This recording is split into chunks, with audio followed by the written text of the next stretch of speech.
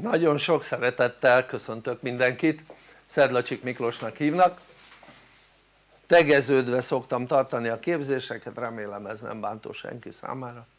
Sőt itt nálunk mindenki tegezi egymást kortól nemtől függetlenül. Hoppá. Jó és akkor nézzük hogy kik is vagyunk, mink is vagyunk mit csinálunk?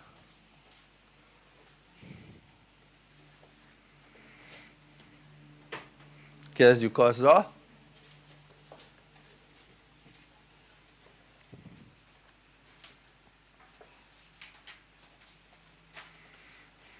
Hogy mit is csinálunk. Képzéseink vannak, a képzéseken belül felnőtt képzéseink vannak és azon belül a felnőtt képzéseken belül coach képzéseink de speciális. San csináljuk a coach képzéseket mert ugye nem a hagyományos coach képzések amivel találkozhattok bárhol a világban. Itt Magyarországon is van több kócsképző intézmény. Több kócs aki képez kócsokat. De mi teljesen másként csináljuk ezt mint ahogy ők. Hát gyakorlatilag mondhatjuk azt hogy azt amit mi csinálunk azt én fejlesztettem ki. Magamról egy-két gondolat. Én 90 illetve 87 óta foglalkozok emberekkel, 91-től szervezek embereket, 93-tól vezetek embereket.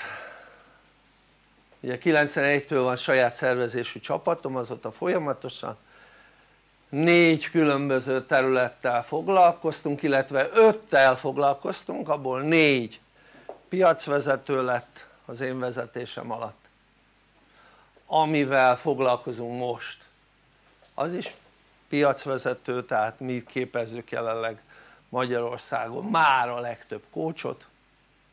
Ez nem mindig volt így de most már így van. Egyébként egyetemeken is tanítják a kócsokat. Tehát van olyan szak ahol ugye kócsképzés folyik. Szóval a lényeg az hogy az én vezetésem alatt ugye én úgy működök hogy szeretek azt hogyha amit csinálunk abban a legjobbak és ezáltal a legnagyobbak vagyunk.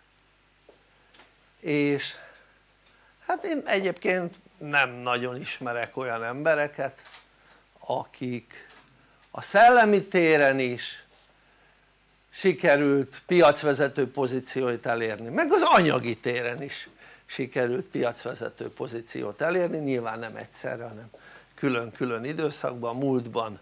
Ugye anyagi dolgokkal foglalkoztunk, pénzügyi területtel foglalkoztam illetve foglalkoztunk és ott is sikerült piacvezetővé válni és most itt a szellemi téren is sikerült piacvezetővé válni.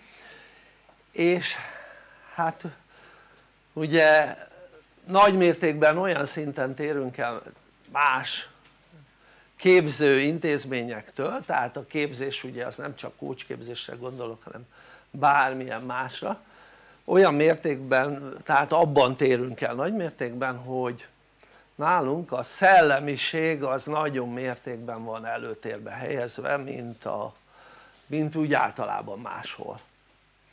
És ez annak köszönhető hogy ugye mivel hát több százezer embernek vittünk el valami életjobbító lehetőséget itt az elmúlt pár évtized során és ugye én magam személyesen több tízezer képz, ember képzésében vettem részt és sok ezer emberrel foglalkoztam személyesen. Ezáltal ugye sok mindent tapasztaltam az ember működéséről és sok mindent tapasztaltam arról hogy hogyan lehet eredményeket célokat elérni. Tehát hogyha az ember célokat tűz ki akkor hogy azt el is érje és ha eredményeket szeretne akkor azokat el is érje. És ugye rájöttem arra hogy az úgy önmagában kevés hogyha legalábbis a legtöbb ember esetében kevés. Mennyi ember esetében? Mondjuk ugye a 7 8 esetében kevés tehát még egyszer mondom a 7 8 tehát az 1 8 a meg tudja csinálni szellemiség nélkül is hogy eredményeket érjen el de a, a 7 8 az emberiségnek és az embereknek nem tudja megcsinálni. Tehát az emberek 7 8 ának szüksége van arra hogy hogy beletegyen olyan dolgokat is amit úgy nevezünk hogy szellemiség. Tehát magyarul hogy az eredmény elérése érdekében mozgósítsa a szellemi kapacitásait az adott illető. Tehát a, az eredmény elérésében még egyszer mondom mozgósítsa a szellemi kapacitásait. A szellemi kapacitás az meg kifejezetten egyoldalú dolog az mégpedig a gondolkodásra épül teljes egészében. És ehhez még bekapcsolódik egy olyan dolog is amit manapság valamilyen szinten spiritualitásnak szoktak nevezni. Régen ezt a fajta működést a vallásokhoz kapcsolták hát én szerintem pedig egy harmadik dolog és ez mit jelent? ez az azt jelenti hogy a az emberben lévő lélek és annak kapcsolatának ismerete révén az ember rájön arra saját maga rájön arra hogy, hogy a lelkünknek van egy különleges kapcsolata olyan szellemlényel amely olyan fajta segítséget tud nyújtani az ember életében hogy az ember képes azt, eredmény, azt az eredményt elérni amit szeretne, a szeretne csupa nagybetűvel. Na most ehhez viszont ugye fontos lenne hogy az ember ismerje még azt is hogy mi az életünk értelme és mi az élet az egyén életének a végcélja tehát az egyén életének a végcélja. Ezt is szoktuk úgy is nevezni hogy küldetése. Ha az ember ezt tudja akkor rájön arra hogy muszáj magas etikai szinten működni és ha magas etikai szinten működik akkor nem kell attól tartania hogy az a bizonyos szellemi segítség amiről az imént beszéltem hogy a lélek kap egy felsőbbrendű lénytől szellemi segítséget nem kell attól tartani hogy az a szellemi lény amely a segítséget nyújtja az nem elég etikus. Mert ez úgy működik hogy megértsük hogy minél kevésbé etikus egy személy annál kevésbé etikus szellemi lény segíti az ő előre haladását. És azzal, az a baj hogy minél kevésbé etikus szellemlény segíti az előre haladását valakinek azzal az a fő probléma hogy az ember nem azért van ezen a bolygón hogy elromoljon. Nem azért van hogy lecsúszson az etikai szintje.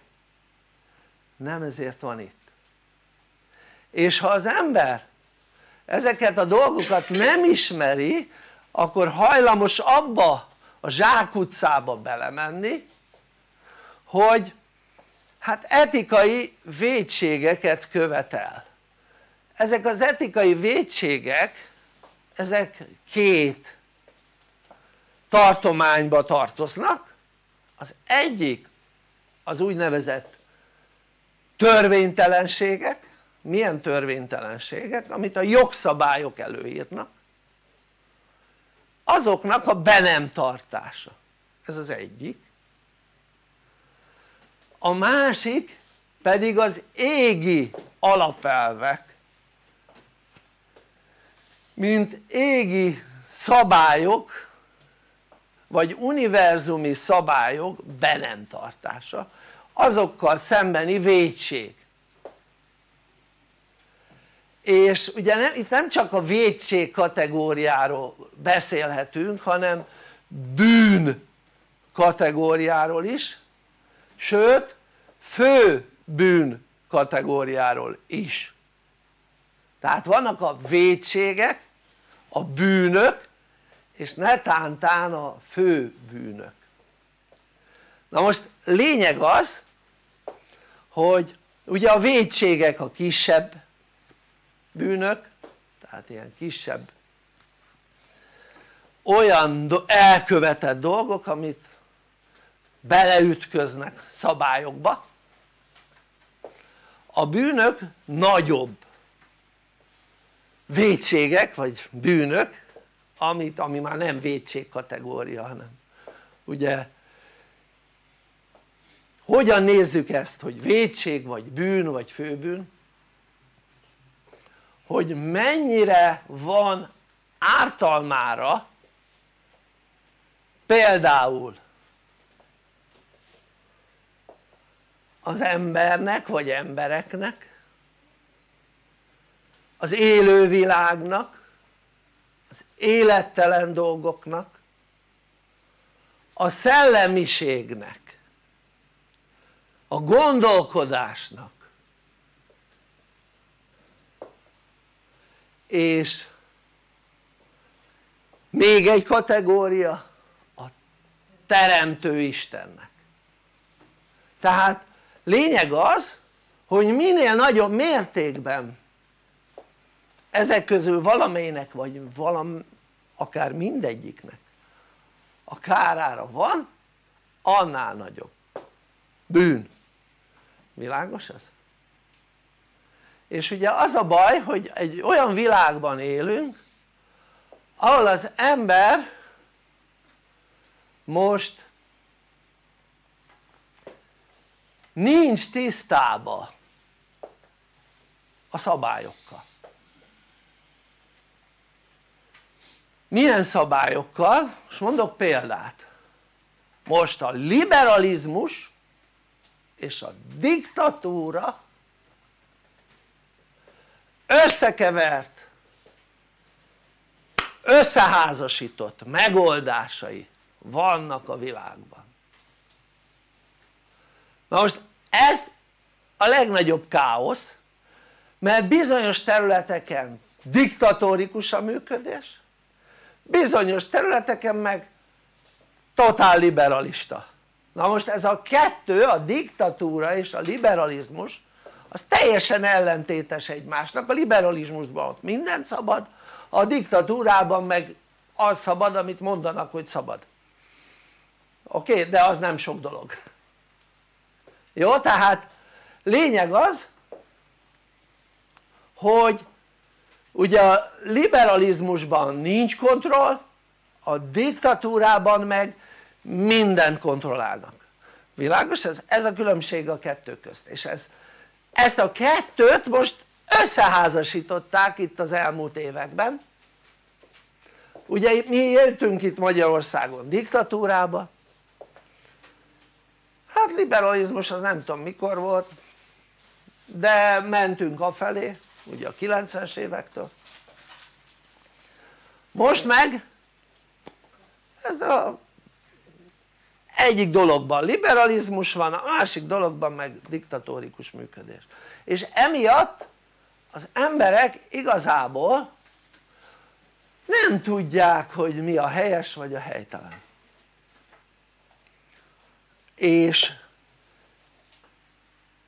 ha az ember nem tanul etikát akkor nem is fogja tudni. Sose egy ilyenfajta társadalmi megnyilvánulásban mint ami most van nem is fogja tudni sose hogy mi a helyes és mi a helytelen mert gondoljátok végig mondok példát. Nézegettük most karács tegnap együtt volt a családom. Ugye jelenleg hatan vagyunk. És hatan. Együtt voltunk. És nézegettük a múltat. Tehát előkerestünk. Régi felvételeket. 95-től videófelvételeket. Családi videófelvételeket. És nézegettük a családi videófelvételeket 90 és nézegettük azt hogy mit lehetett akkor. Tehát most gondold végig mit tudom én voltunk mondjuk Törökországban és Törökországban én még sehol nem láttam annyi romot mint Törökországban tehát sehol. Ott léptön nyomon mentünk az országúton és mindenféle romba ütköztünk de ilyen ők ókori romokba tehát ókori romokba ütköztünk és akkor lehetett fogni, kiszállni az autóból, szabadon nézegetni, akár járkálni a, a romokon, érted? akkor például mit tudom én fölültünk egy hajóra és ugye a földközi tengerbe megállt a hajó egy helyen és akkor lehetett beugrálni a vízbe. Érted? A hajóról. És ugye abban az időszakban simán lehetett menni például ha Rómába voltunk akkor bemenni a bazilikába csak úgy. Érted? semmi kontroll nélkül. Nem kellett semmi olyan helyen mit tudom én engedélyt kérni hogy bemenjünk a, mentünk volna mondjuk Egyiptomba akkor simán bemehettünk volna mindenhova abba az időben 90-es évekről beszélek, 90-es évek elejéről egészen mondjuk a végéig. Tehát magyarul simán lehetett mindent. Érted? na most de ugye olyan fajta ö, dolgok azért nem lehettek mint például hogy hogy hogy például mit tudom én mondjuk a kisebbség bármilyen területen a kisebbség az mondjuk fontosabb lett volna a szava a kisebbségnek mint a többségnek. Tehát például ilyet nem lehetett tehát a kisebbség az a többséghez képest ez most mindegy hogy fai, vallási vagy bármilyen alapon működött az nem kerekedhetett felül a többség fölé oké? Okay? vagy fai akkor mit mondtam még? vallási vagy identitási azt nem mondtam azt elfejtettem mondani. Tehát nem lehetett. Érted? tehát ebben volt egy szigor. Most a kisebbségnek nagyobb a szava mint a többségnek. Például mit tudom én Amsterdamban jól emlékszem mit tudom én arab polgármester van. Érted? Hollandiában szóval lényeg az hogy érted a kisebbség most már felülkerekedik a többséget. Ez a liberalista működés. De tuti hogy most nem ugrálhatná a tengerbe a hajóról.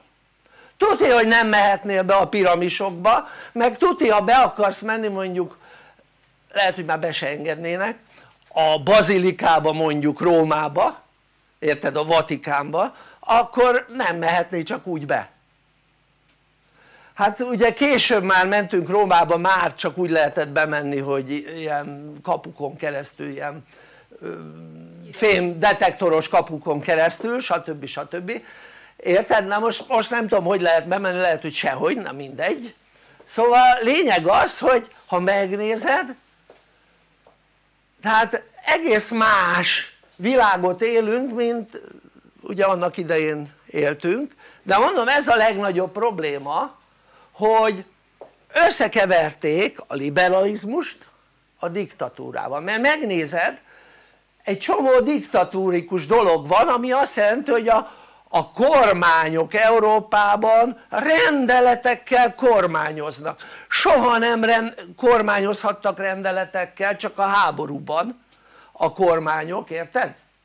Hanem össze kellett ülni a parlamentnek és a parlament hozta meg a szabályokat és nem egy kormány. És max a parlament felhatalmazott amikor már a parlament hozott egy törvényt akkor felhatalmazta a kormány hogy a részleteket dolgozza ki. De magyarul a kormánynak csak végrehajtó szerepe volt nem törvényhozó szerepe, világos ez? nem jogszabályalkotó szerepe a diktatúrában van egy kliknek jogszabályalkotó szerepe ahol a parlament csak egy báb és gyakorlatilag a parlament mivel mindenki a párt része ezért ugye mindenki azt szavazza és abban a pillanatban hogyha nem azt szavazná meg akkor mondjuk kizárnák a pártból és akkor egy csomó lóvétól elesne. Ugye ezt tudjuk hogy ez így volt. Ez egyébként most is így van a pártokon nem tudom tudjátok-e hogyha nem úgy szavaznak akkor kizárják a pártból és, és akkor onnantól kezdve annyi. Na szóval a lényeg az hogy hogy gondoljátok végig egy ilyen fajta működésben egy laikus aki azt se tudja mi az hogy etika mert sose tanulta. Azt hiszi hogy az etika az mondjuk ha vallásos akkor a tíz parancsolat. Vagy ha mondjuk azt se ismerte igazából mert nem vallásos akkor az etika neki az amit a szüleitől tanult. Tehát az azt jelenti hogy, hogy gyakorlatilag nem tudják az emberek hogy mi az ami a leginkább ugye a legnagyobb jó érdekében való cselekvést jelenti, nem tudják na most ezáltal ha az ember ezt nem tudja akkor ha kér segítséget miért kell kérni segítséget? tehát itt vagyunk mi emberek és ha az ember nem ismeri hogy léteznek olyan lények akik fizikailag nem érzékelhetők de tudnak nekünk segíteni. Tehát ezt nem tudják akkor nyilvánvaló egy ember aki ezt nem tudja az nem is tud ahhoz fordulni. Tehát ahhoz tudunk fordulni akit ismerünk, világos ez? Tehát egy, egy olyan személyhez amelyik nem létezik számodra oda nem tudsz fordulni, világos ez? de ez itt a fizikai valóságban is ez így van ha végig gondoljátok hogy próbálj már egy olyan személyhez fordulni akitről nek a létezéséről nem tudsz nem tudsz hozzáfordulni, világos ez? tehát az ember a fizikai valóságban is és a szellemi valóságban is ahhoz fordulhat akit tud, akiről tudja hogy létezik, világos ez? az embereknél elérték azt hogy igazából ez feledésbe merüljön tehát mi magyarok egy olyan tőről fakadunk és ezzel nem, én ne értse félre senki, nem akarok más népeket leértékelni jó? még véletlenül sem csak ugye én ezt tudom hogy mi egy olyan tőről fakadunk ahol egy olyan bizonyos vallás volt de ezt nem vallásnak hívták hanem hitnek a hit az magasabb rendű mint a vallás csak úgy mondanám. Tehát nem vallás volt de mégis ahhoz hasonlított. Tehát ezért mondtam így hogy vallás de mondom nem vallás. Ezt úgy hívták hogy hitrendszer. Tehát a, mi egy olyan tőről fakadunk egy olyan ősi gondolkodásmódból jött a fajtánk ahol az őseink úgy gondolkodtak hogy az Isten az bennem van de ne fizikailag értelmezzétek oké? Okay? ami azt jelenti hogy nekem van egy olyan kapcsolatom tehát ez volt az ősi gondolkodás. Van egy olyan kapcsolatom ami egy az Istennel.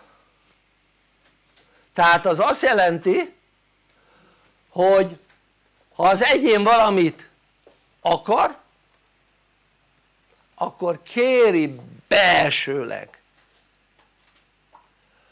azt amit szeretne és a benne lévő Isten azt teljesíti.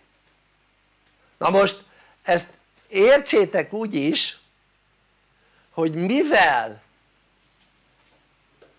ez nagyon fejlett szintre akkor föl volt fejlesztve ezáltal sokkal jobb képességekkel bírtak akkor az emberek mint most, világos ez?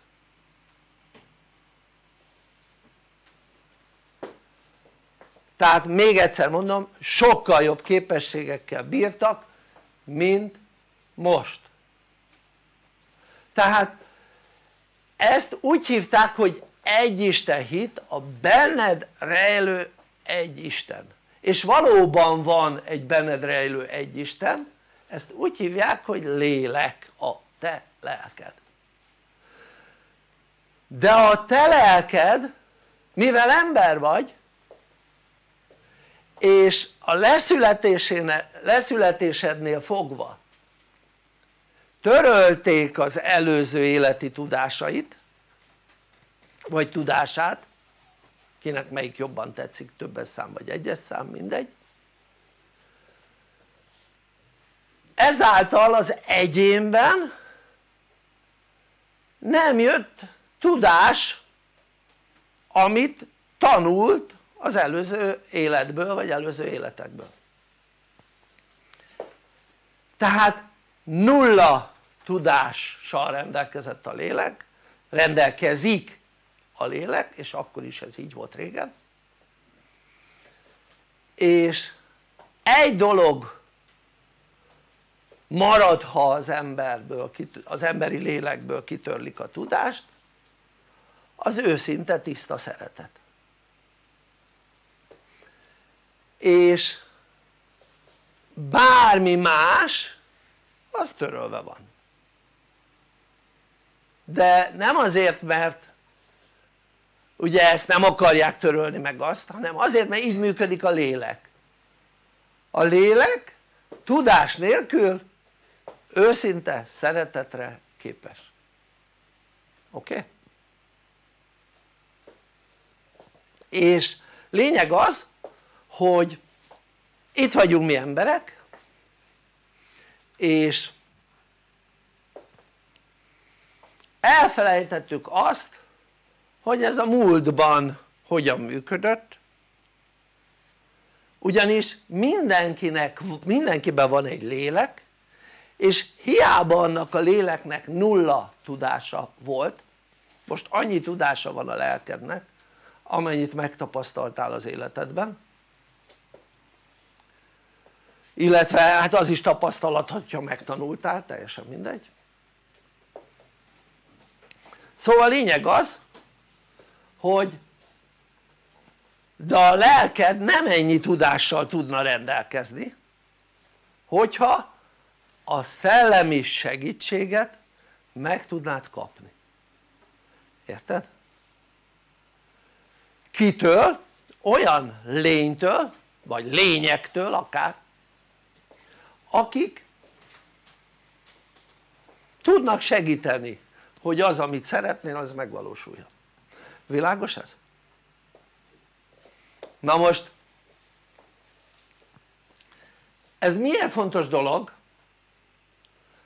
Azért mert itt vagyunk emberek és azt gondoljuk hogy az az ismeret amivel rendelkezünk az elég a mai világban való boldoguláshoz, legalábbis az emberek többsége ezt gondolja.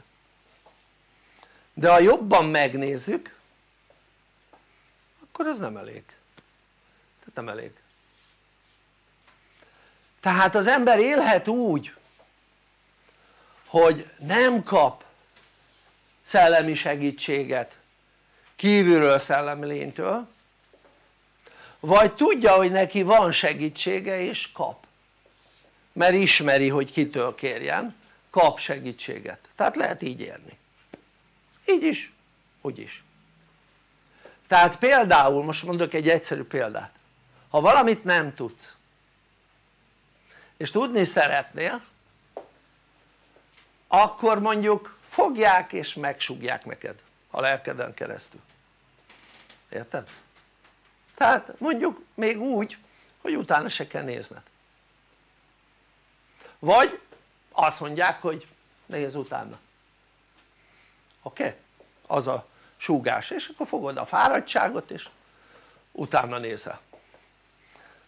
Szóval itt vagyunk mi emberek és ugye azt gondoljuk hogy mondjuk a 7-8-ad azt gondolja hogy nehéz az élet. És azért nehéz és azért nem tudnak olyan dolgokat elérni amit szeretnének mert az imént említettem hogy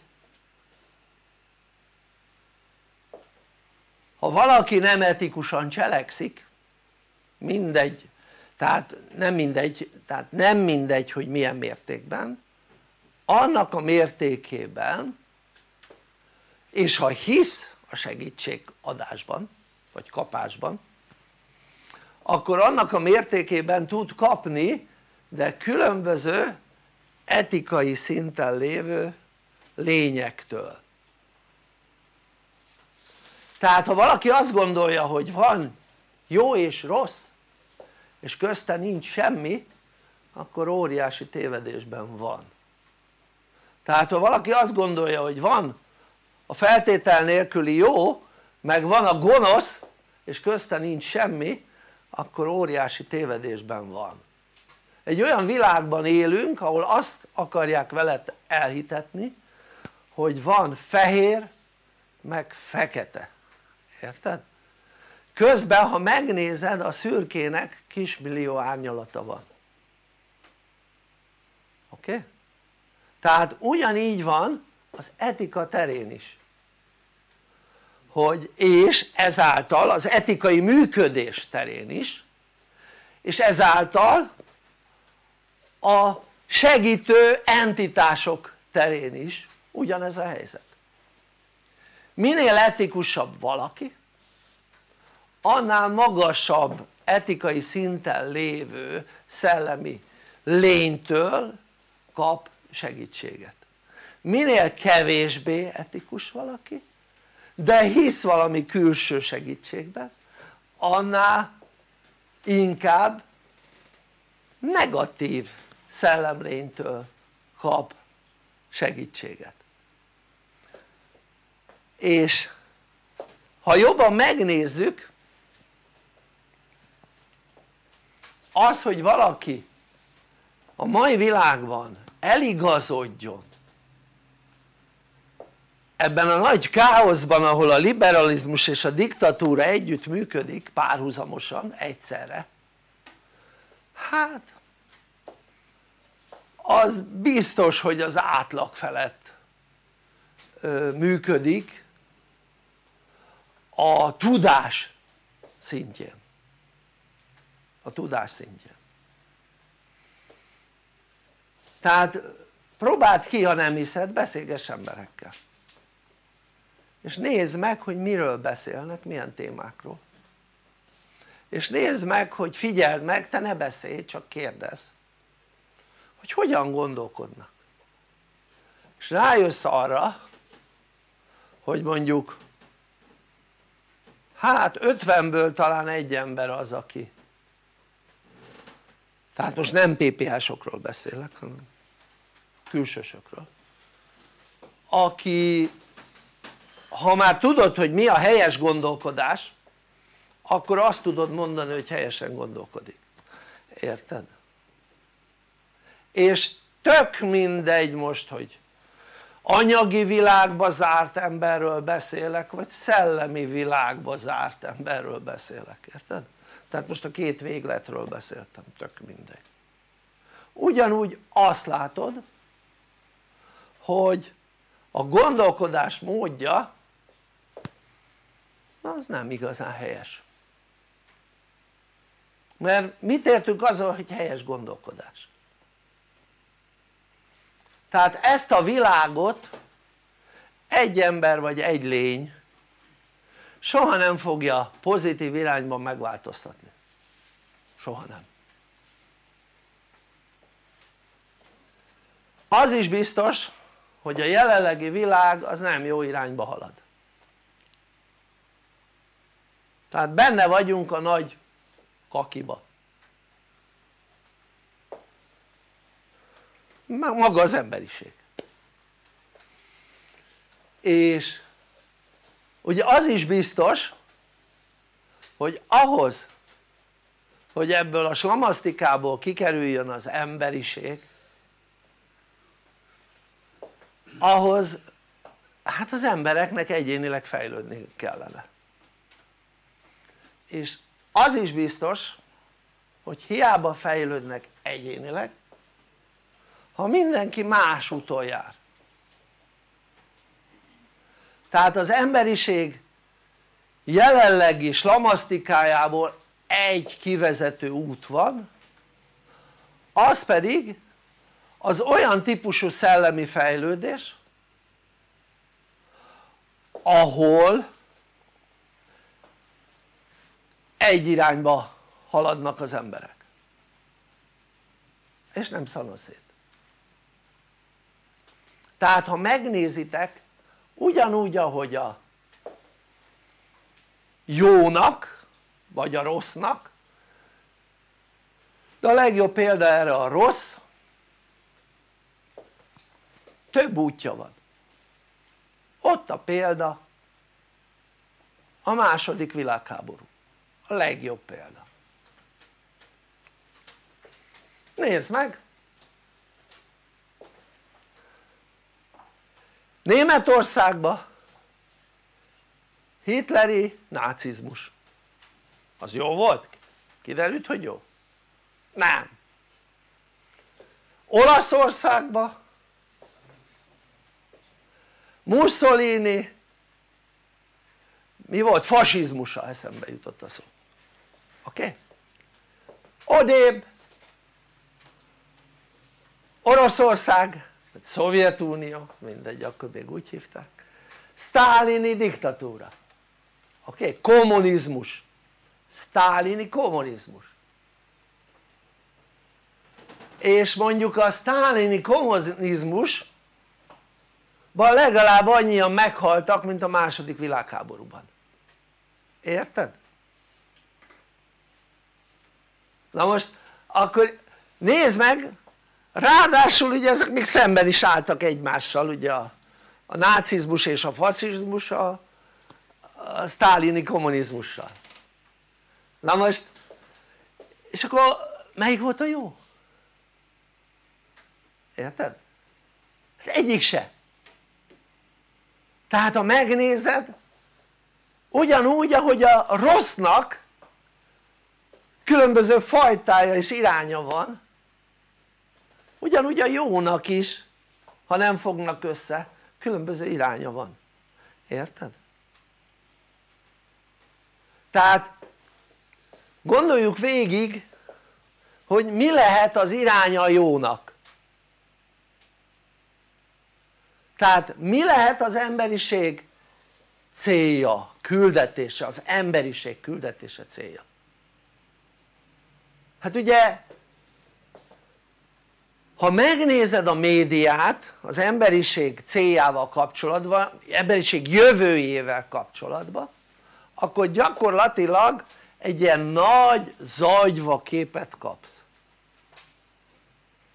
hogy mi lesz a jövőben, de olyan baromságokat tudsz nézni, érted? vagy hallani, vagy olvasni, érted? hogy az ember haja égnek át tőle és lehet azt mondani hogy ahány szerző? Annyiféle verzió. Tehát mi lehet az emberiség célja? tehát most gondold végig most mifelé haladunk. Ha most ha jobban megnézzük akkor afelé haladunk akármilyen hihetetlen és ez nem ijeszgetés hogy mintha az lenne a cél hogy egyre többen meghalljanak. Miből gondolom ezt? hát voltak alapszabályok évtizedeken keresztül. Mondhatom azt mióta az eszemet tudom. És ezt meg tudod kérdezni bármilyen egészség, régi egészségügyi dolgozótól. Azt például hogy ha járvány van avval a, szem, a járványjal szemben nem oltunk érted? miért? mert minden oltás legyengíti az immunrendszert és ha járványba oltunk akkor könnyebben kapja meg a járványt a legyengített immunrendszer tehát magyarul ha bead az ember egy oltást valakinek akkor az immunrendszer elkezdi leküzdeni azt amit beadtak. És ha ezzel szemben még kap egy másik idézőben fertőzést akkor persze hogy kettővel már nem bír el, világos ez? ezáltal könnyebben megbetegszik. És az a jó eset hogy könnyebben megbetegszik.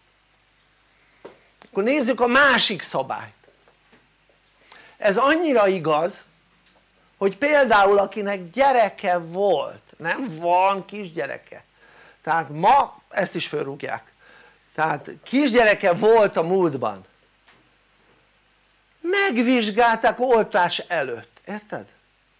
és ha náthás volt az a gyerek, nem adhatták be az oltást, érted? nem adhatták be és azt mondták hogy hozza vissza anyuka akkor amikor már meggyógyult oké? Okay? most úgy oltanak hogy még a hőmérsékletét sem nézik meg a oltottaknak, érted? akiket éppen beoltanak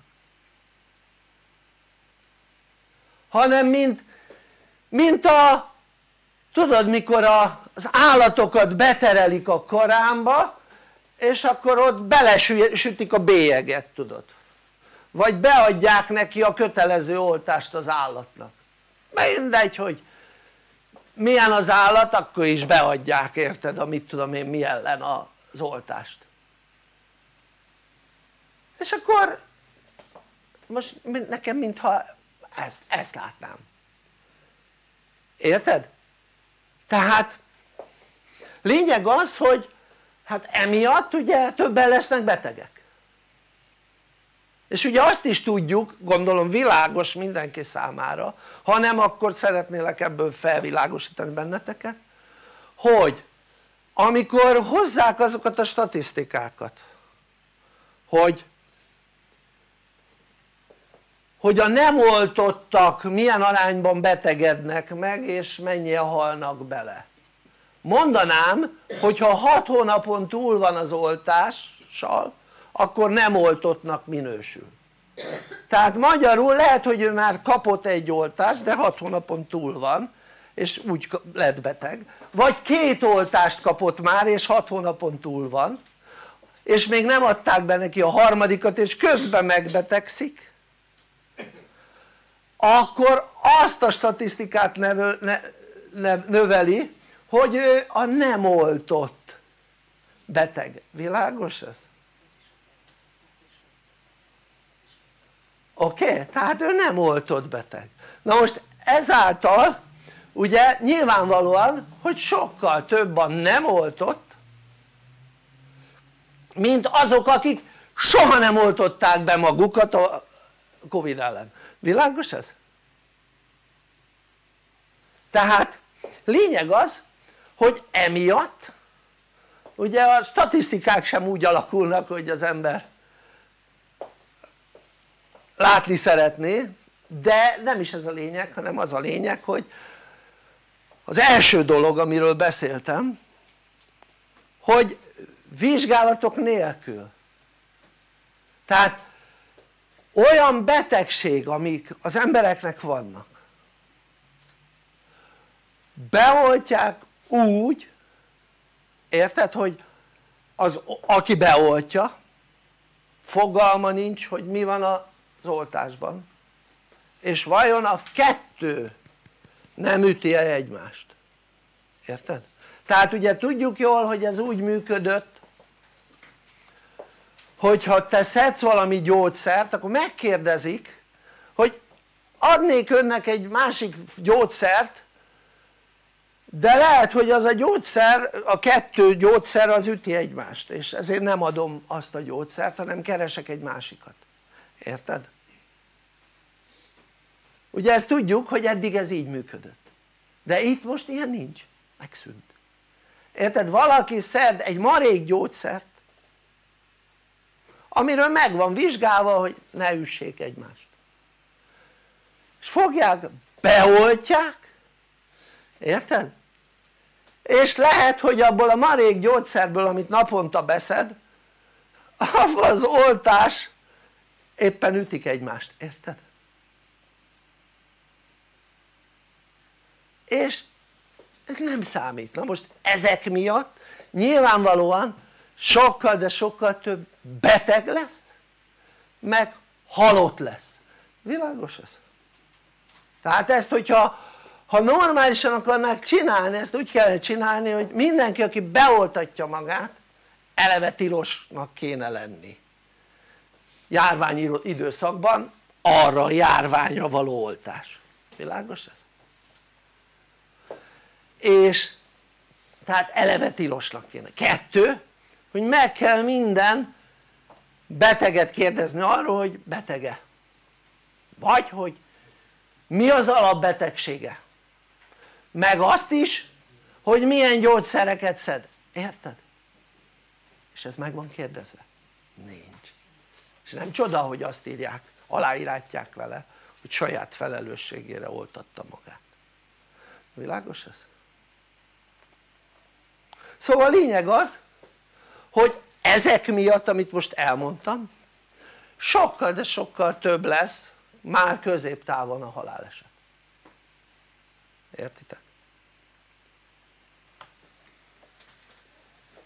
Tehát és nem csak a haláleset maga betegség is. Tehát sokkal több beteg ember lesz. Tehát beteg ember lesz. Tehát én erre azt mondanám hogy ez minimum felelőtlenség. Tehát minimum. Minimum felelőtlenség. De nem csak azok részéről akik intézik ezeket a dolgokat hanem akik beadatják maguknak. Szóval a lényeg az hogy hogy persze mondjuk egy magegészséges ember aki semmilyen gyógyszert nem szed semmire nem allergiás és semmi olyan reakciója nincs hogy valamilyen érzékenysége nyugodtan mehet de akkor sem akkor amikor járványhelyzet van világos ez? jó? tehát na most ezt ugye miért mondom? hát azért mondom mert hát ha körülnézel azt látod hogy 50-ből egy ember aki, aki ma a világban körülbelül helyesen gondolkodik de lehet hogy eltúloztam a számot és lehet hogy százból egy érted? nem azok akik itt tanulnak hanem egy én beszéltem már olyan emberekkel nem egyel nem kettővel akire azt gondoltam hogy sokkal értelmesebb tényleg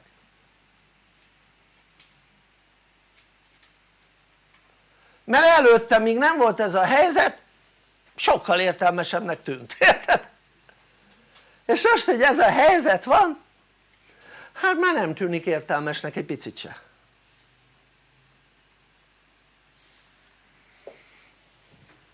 szóval vannak olyan alap dolgok amit az embernek tudnia kellene. Tudnia kellene.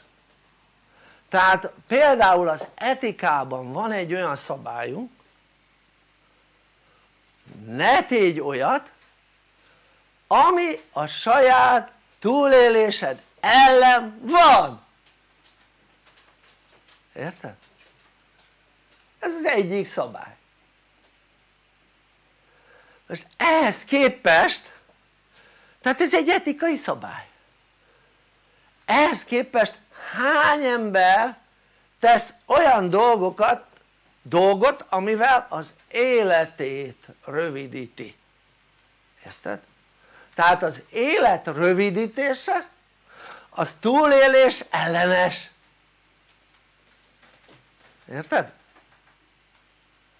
tehát mit tudom én mondjuk hülyére issza magát ezzel öli pusztítja az agysejtjeit érted? a máját és egyéb dolgait ráadásul még a környezetét is valamilyen szinten azzal hogy kontroll olyankor elmegy a másik fogja és mit tudom én nagy mértékben dohányzik. Tehát nem naponta egy szálat elszív. Érted? hanem mondjuk egyiket a másik után. Amivel ugye öli a tüdejét. Nem csak a tüdejét hanem ott más dolgok is vannak keringési rendszer rem sem re, tehát keringési rendszerre sincs jó hatással ugye a, a dohányzás érted? és akkor mégis csinálja a harmadik meg mondjuk beoltatja magát járványhelyzetben érted? a negyedik meg beoltatja magát akkor amikor mindenféle betegsége van amire gyógyszert szed szóval végig gondolod ezek vajon nem túlélés ellenesek? a negyedik mit csinál? ugye mondjuk mérhetetlen mennyiségű kávét megiszik napi szinten hagyd dobogjon a szíve, érted? ami azt jelenti hogy, hogy erő jobban, érted? jobban hagyd dobogjon mint ahogy dobog tehát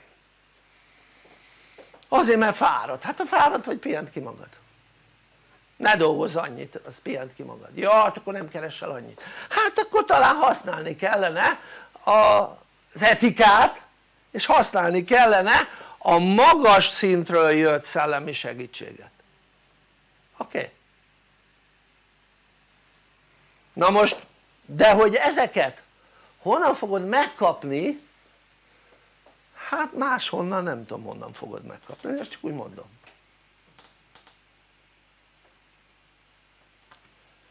Tehát a múltkor beszélgettem valakivel és mondta hogy találkozott egy ilyen spirituális tanítóval aki aki ilyen speciális szellemi területű dolgokat tanít embereknek. És ugye hát kérdezte az a szellemi tanító hogy a Szedlacsik Miklós tanít-e ilyeneket? Erre az volt a, ugye az itt tanuló tanulónak a válasza hogy hát ma eljön az ideje akkor tanít. Jó ebben benne is vagyok semmi gond nincs ezzel. Csak ugye mondanám azt hogy minek ilyen dolog bárkinek is amikor ott van az az ősi elv amit kiválóan műveltek régen a magyarok érted? hogy tudod hogy van egy lelked tudod hogy van egy szellemi segítséged tudod hogy mi az hogy etika érted? és ennek alapján működsz, érted? ami azt jelenti hogy nem teszel olyan dolgokat amit nem kéne megtenned, megteszel olyan dolgokat amit meg kellene tenned és tudod hogy van egy olyan lélek, a lelked aki kapcsolatban van amelyen keresztül megtudsz mindent amit kell érted? És hozzájutsz azokhoz a képességekhez amire neked szükséged van. Elsősorban természetesen szellemi képességekről beszélek és nem fizikai képességről mert a fizikai képesség az szimpla gyakorlás ezt csak úgy mondanám. Az még egyszer mondom szimpla gyakorlás kérdése. A fizikai képesség és minden fizikai képesség gyakorlatilag szimpla, szimpla gyakorlás kérdése a szellemi képességek az viszont adottság nagy különbség a kettő közt oké? Okay? ami azt jelenti hogy adottság tehát amikor az ember megérdemli akkor meg tudja kapni tehát adják azért adottság mert adják oké? Okay? De ha te nem azt az életed éled életetet, életet éled amit élni kellene akkor még kapnád meg az adottságot? És akkor nézzük meg tehát merre kellene haladni az emberiségnek? Hát olyan nincs hogy valahonnan nem jöttünk. Olyan nincs. Ha valahonnan jöttél akkor valahova tartasz nem? Nem? lehet azt mondani hogy nem tartok sehova, de hát akkor itt rekedsz a földön azt annyi, nem hiszem hogy az emberiségnek az lenne a feladata hogy itt rekedjen a, ebbe a káoszba amiben most van hát az emberiségnek egy útja van hogy az amit a lélekről tudunk hogy honnan jött és mi a feladata a léleknek azt a feladatot a lelkünk beteljesítse. Tehát onnan jöttünk hogy azért vagyunk hogy teremtsünk. Tehát hogy teremtőként működjünk. Világos ez? ezért vagyunk. Nem rombolóként működjünk. Nem néha teremtekként működjünk. Vagy úgy működjünk hogy hát most azt se tudtam hogy teremtettem. Hanem teremtőként működjünk na most teremtőként igen magas. Szellemi szintre kellene jutni.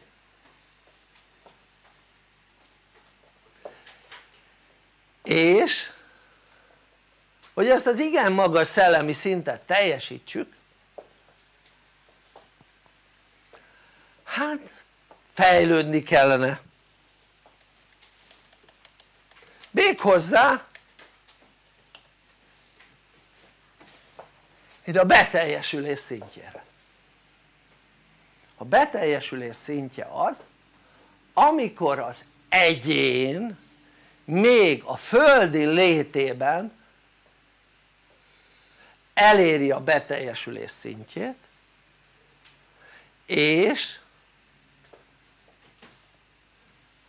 kilépve a testéből nem kell szembesülnie a hibás cselekedeteivel. Ezáltal nem kell bevállalnia egy olyan feladatot hogy ezt kijavítsa mert a földi létében az összes hibázását kijavította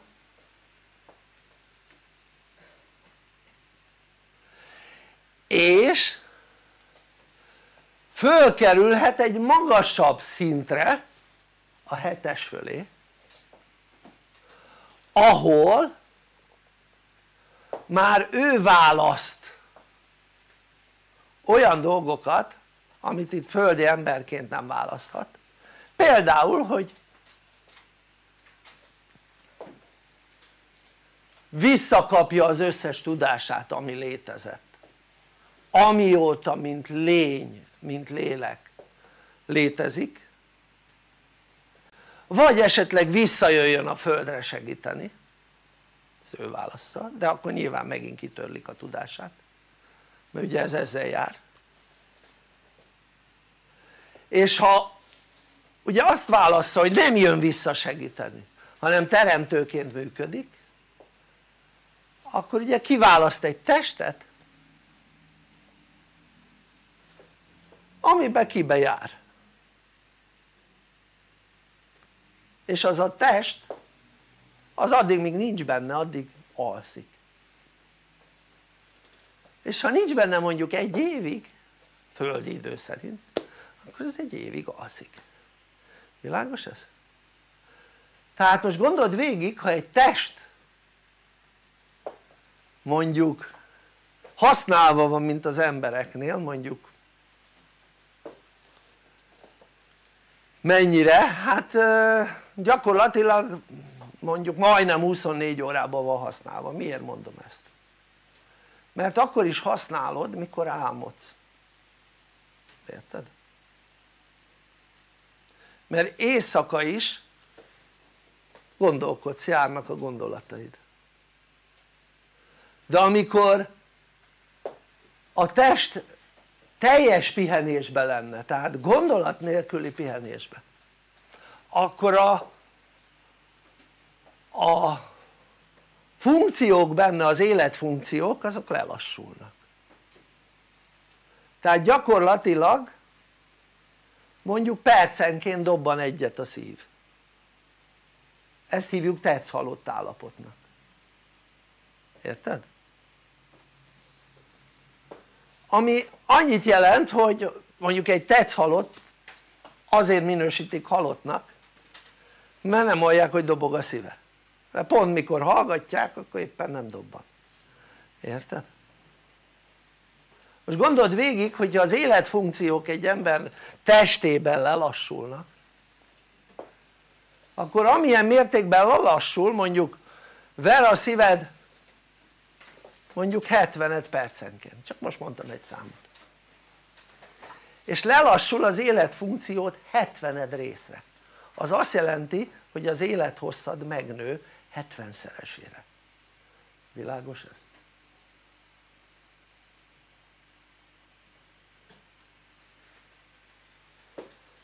az azt jelenti hogy addig gyakorlatilag míg a lélek kint van egy testből addig nagyon csekély mértékben öregszik a test, világos ez?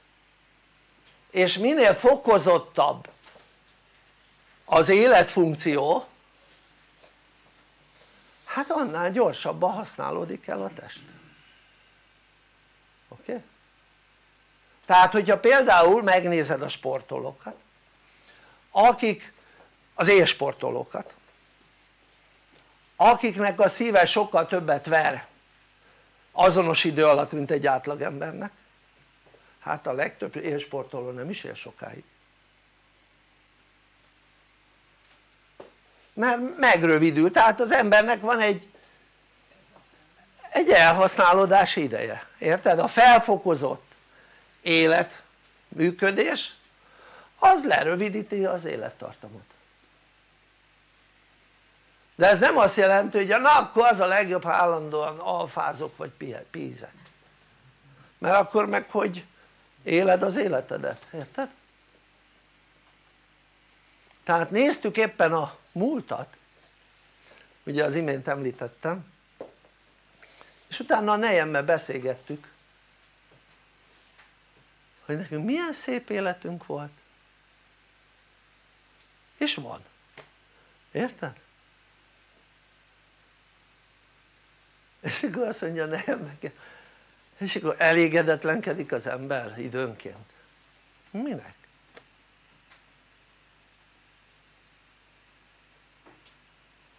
tehát gyakorlatilag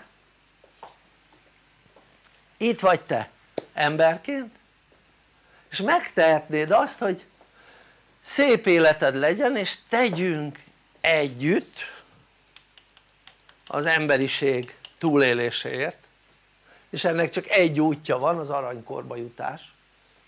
A hatodik lelki szint. Visszatérve ide.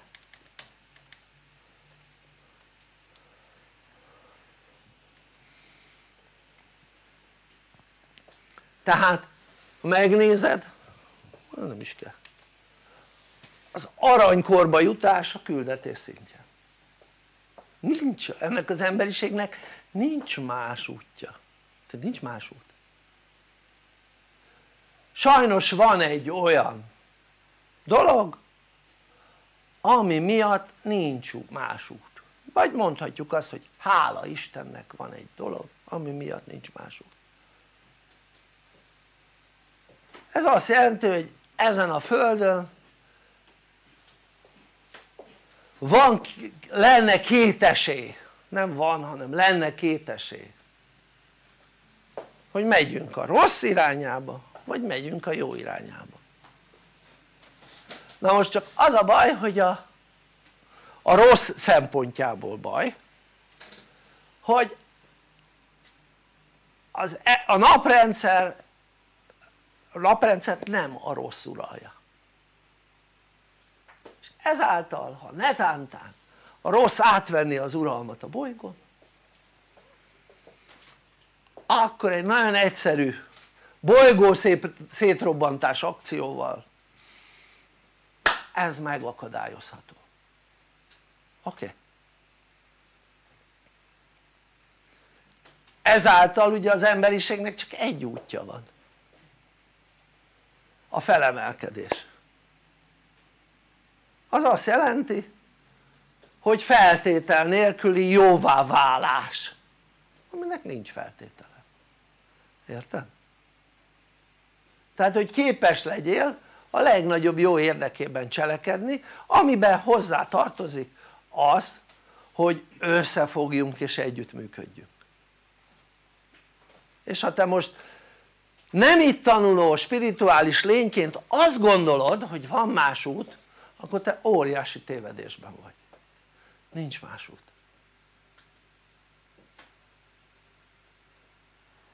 na most azért röviden elmondanám hogy az aranykorban nincs olyan hogy az emberek nem tudják mi a dolguk és olyan van hogy nincs közvetlen irányítás oké? Okay? Tehát ha valaki azt gondolná hogy én arra pályázom hogy majd az aranykorban milyen szerepet töltök be akkor óriási tévedésben él mert az egy olyan ember aki tud annak nincs szüksége irányításra, világos ez? az annyi van hogy összeülnek akik összetartoznak és megbeszélik hogy kinek mi a teendő és mindenki teszi a dolgát úgy hogy külső kontroll nélkül világos voltam? tehát ha valaki azt gondolja hogy az ember nem így működik akkor nagyon nem ért az ember működéséhez tehát egy olyan ember aki pontosan tudja hogy ő mit tud ott nem kell irányítani, világos ez? ez olyan mint a munkádban amikor tudod a munkádat nagyon jól ellátni nem kell fölötted kontroll, világos ez? nagyon egyszerű tehát azok fölé kell kontroll akik nem tudják nagyon jól a dolgokat, világos ez? és hajlamosak a hibázásra tehát ezért nem lesz szükség az aranykorban kormányra meg cégvezetőre meg ilyen hülyeségekre érted?